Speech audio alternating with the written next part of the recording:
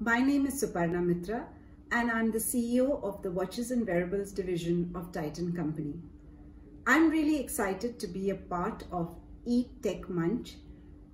It's the first time there's a virtual conference on digital marketing and it is really a sign of the times that we are having a conference on digital marketing which is completely virtual.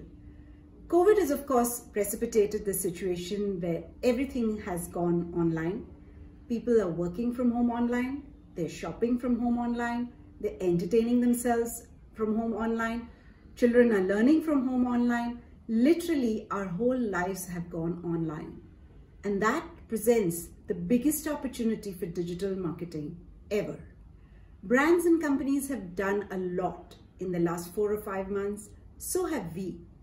Some of these experiments and learnings are quite interesting and I would love to share the learnings of these experiments and little uh, things that we've done, innovative things that we have done during my talk on the 27th of August. Do join and look forward to seeing you there.